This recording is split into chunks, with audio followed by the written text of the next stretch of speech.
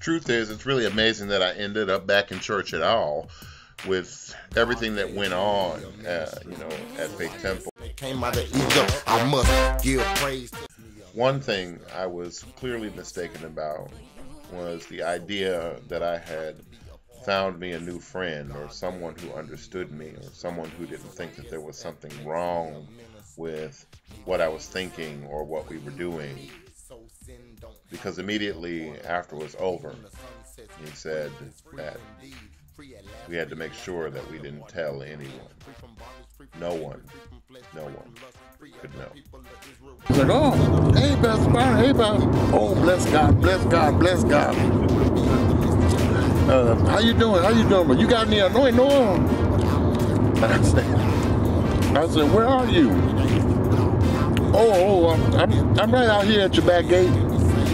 I just wanted to come and talk with you and pray with you. I, just got out of jail. Bless God, bless God. Say He said, Well, Pat, Pastor, you got any, you got any food in there? Anything? What, what you cooked today? so after all of that, then he says, "Well, I just know God's been speaking to me, and and um, you know, I know I know that uh, you know uh, the Lord has told me homosexuality is wrong, and I just know that God's gonna bring you out. He's gonna send your wife." he said, "I'm just believing God. I'm just believing God. I just I know you're a powerful man." Turn right. I said, "Deliverance." And so I and I just kind of sat back. I was like, "Okay, here you are." asking me for help, but you're gonna come and tell me how I'm living is wrong.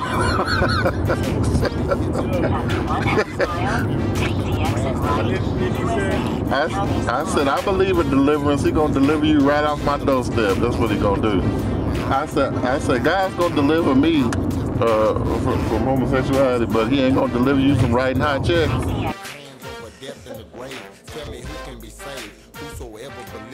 that's the word of God. John 3 16. Whatever problem you got, Jesus can fix it. How much time will you waste before you make a decision? The Spirit leads us, but only if we listen. I must be about the Father. Keep your mind on me, on me. Keep your mind on me. Somewhere in there. Um, did he just try to tell me how to sing my song? The song that I wrote 24 years ago.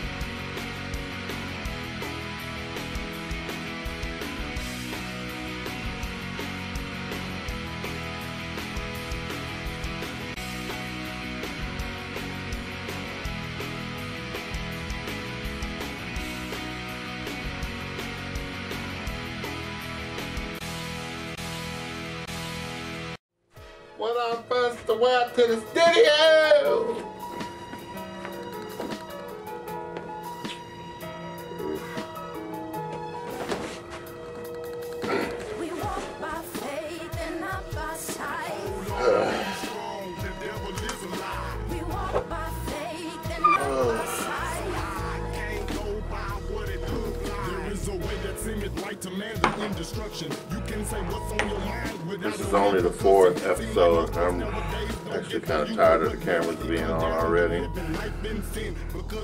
A couple of weeks off because my ends wasn't right.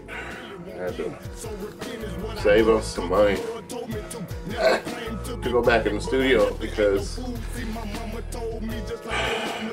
you know, Doug charges $40 an hour and uh, he's got a two hour minimum uh, to book time.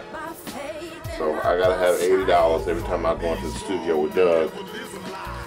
And, uh, you know, I'm not rich, so. Um, uh, I haven't been in the studio for a while. I ride the bus. My money was funny and my change was strange. I go to the laundromat.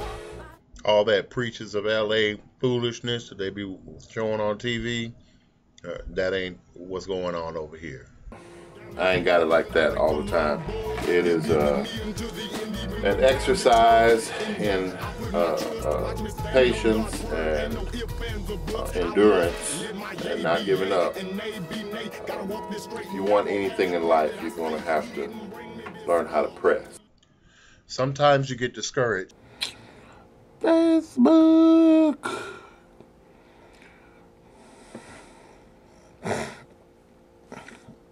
Ain't nobody talking to me. Nobody cares about my stuff right now. Truth. You're going to have to learn how to be happy for yourself because everybody ain't going to be happy for you. What are they talking about over here? Who are these people? Excuse me, everybody. Derek, Jake, everyone. I got an announcement to make, and I got my friends here to help me out. Guys, hit it.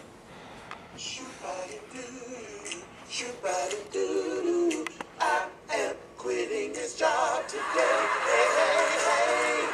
I'm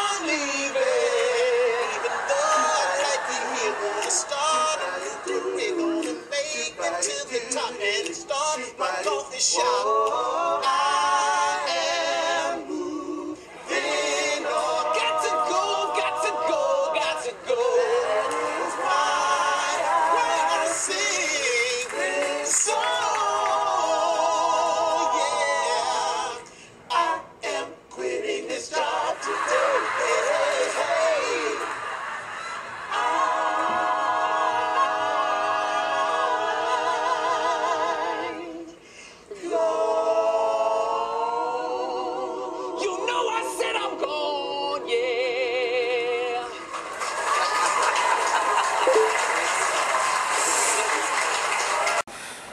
I quit too.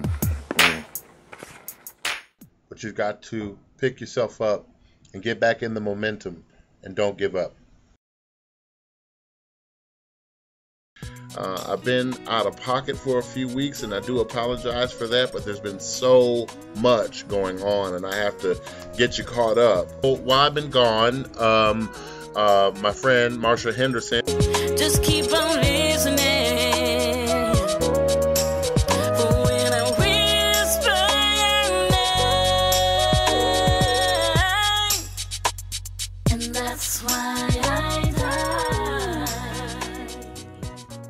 So her CD dropped on March the 1st. So I'm encouraging you to pick up a copy of uh, Marsha Henderson's Stepping Into My Season, a new CD release. I got to play keyboards for her at her CD release party on March the 1st, and it was just an awesome time. The room was filled with the anointing, and this CD is a collection of songs that is from her heart, and I'm encouraging you to pick up your copy. We'll tell you how to pick up a copy a little bit later.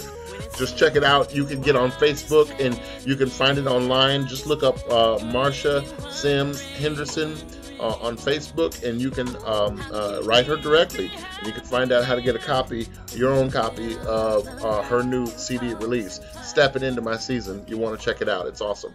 This awesome, awesome experience happened all throughout this project. I have been asking God, please just lead me to the right people. And, and if you know anything about me, it it's not a good thing for me to lose momentum. So I've been asking the Lord just to connect me with the right people to help me get this project done so that He would get the glory. But all things being done in the Lord's timing, right? And I had an awesome experience. While I was playing for uh, Marsha's uh, CD release, I got to meet this guy named Michael Ferguson. We got to talking, uh, and I asked him uh, what he does uh, for a living, and he told me that he's a full time producer. Just to dance with you is all I really wanna do. Is to be with the king who gave his life for me. uh, yeah. And so I was like, wow, I got to uh, sharing with him about, you know, the, the CD that I'm working on right now and trying to get things squared away, trying to get things done. And he's like, bro, don't even worry about it. I'll help you get your CD done for free.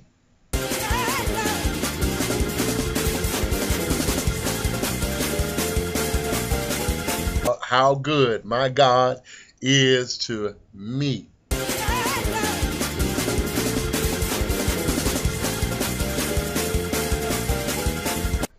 And how God just worked things out. You know, you know, sometimes when you have things going on and you you want things to have progress and you want people to, to, to be a part of your dream and a part of your vision and sometimes people quit on you and sometimes people leave but you hold on to what god said and he will come through it is worth it to serve the lord to put your trust in him and never ever ever give up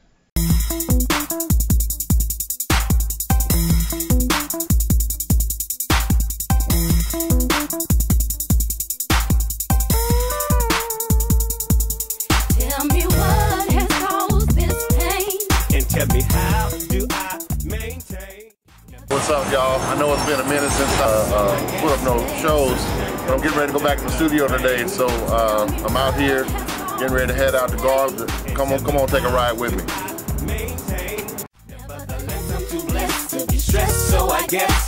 Sunshine comes after the rain. My heart is filled with sorrow, and I feel so empty inside. Can't seem to lift this weight that's been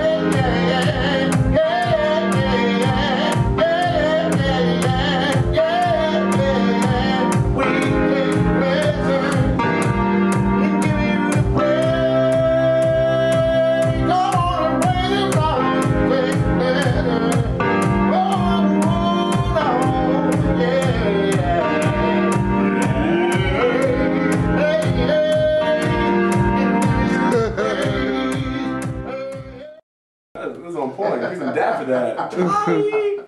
Man. So is that was that timing on? Channeling Martha Wash. Yeah. Getting it, man. Keep on calling her up. Tell her to call me.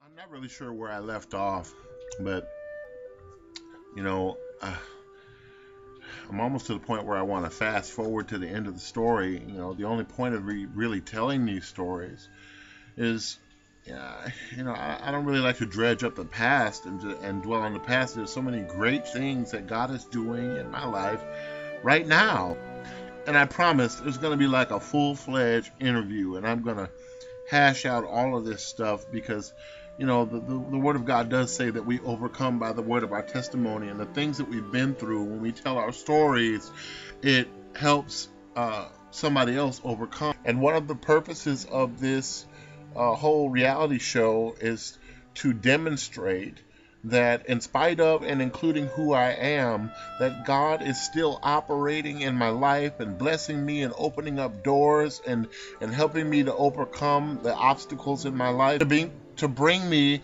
to this place of being able to uh, release music and, and join in the chorus of worshiping God and, and knowing that it is not impossible, that there's nothing impossible. With God, nothing shall be impossible. And so uh, I don't tell these stories to make anybody look bad. I don't tell these stories to to cast dispersions on my upbringing in the church. Yes, there were things that went on that, that, that shouldn't have gone on. There were things I've seen that I shouldn't have seen. I'm challenged every day by the thought of the things that I've come through uh, the good and the bad, and the things that the enemy used to try to destroy me and to try to keep these very events in my life from happening. Yes, yes, I, I, have been sexually abused. And, and, and yes, I had struggles growing up in the church. Yes, I became a drug addict, which, which eventually led me into homelessness. And yes, I've been kicked out of church for being gay and and and, and, and all the struggles that uh, come along with identifying and coming to terms with myself as being a gay man and, and being a Christian and being a follower of Christ. And yes, I hear what the preachers say. Yes, I heard what Donnie McClurkin said. Yes, I heard what Kirk Franklin said. Yes, I hear what Mary Mary says. But I'm telling you, I also hear what the Spirit of God is saying to me. And the Spirit of the Lord would say that there ought not to be not one more black, gay, lesbian, bisexual, transgender, man, woman, boy, or girl that should die or feel alienated or rejected because of, because of faulty teachings that had been presented by preachers who refused to take a closer look at the scriptures. Not on my watch not while this calling is alive in me. I will declare to the end that I am a living witness that as a gay black man who is called of the Lord, I hear his voice, therefore I am one of his sheep. What the Bible tells me is that it is the Spirit that testifies with my spirit that I am indeed a child of God called from the crown of my head to the soles of my feet. That in spite of everything that I've come through, everything that was spoken against my life, everything that people told me that I was not going to be able to do, God still called me out and called me and set me apart to to live a life of righteousness and an example before people called me to be a pastor called me to be a gospel artist and a gospel musician so I have a choice now the old wine and song out of the book of Joshua said it best choose you this day whom you will serve will it be God or will it be man? I have a choice today. I have a choice of whether I will heed the voice of the Lord or I can choose to succumb to fear of what man has said. And I tell you today, I have chosen to serve the Lord. The Bible says that God gave his only begotten Son that whosoever believeth on him shall not perish, but they shall have everlasting life. If you would choose to believe and confess the Lord Jesus Christ today, no matter who you are, you can be a servant of the Lord. You can have that blessed assurance, whether you're gay, lesbian, bisexual, transgendered, straight, or whoever you are, black, white, boy, girl, you can know today. Just accept Christ today. Invite Christ into your life and know It's by faith and not by works, lest any man should boast. Know that the provision of salvation was made for every human being, and it's available to you. God bless you. I'm here as a living witness. You keep watching and you keep seeing what God is doing in my life and using me as an example of His grace that is shed abroad to all men and all women, all people. Know that God loves you and He has a plan for you. God bless you.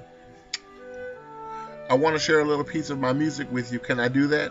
Just so you'll know that God is still accomplishing great things, even in the life of this gay black man. Amen. God bless you.